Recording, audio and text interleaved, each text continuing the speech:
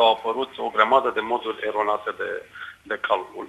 Și am, am găsit inclusiv uh, la o asociație de locatari unde valoarea uh, energiei termice facturată a fost mai mare decât valoarea reală pe care, pe care societatea noastră a facturat-o asociat. În acest caz îi rugăm să se adreseze societății noastre de termoficare pentru a le pune la dispoziție valorile uh, de energie termică, cantitățile de energie termică pe care noi le-am facturat asociațiilor de proprietari. O gigacalorie costă la Mangalia 295 de lei, dar în viitorul apropiat autoritățile locale au în vedere reducerea prețului. La Mangalia lumea nu mai tremură în case de frig, ce s-a întâmplat acum 2 ani de zile la Mangalia este inadmisibil.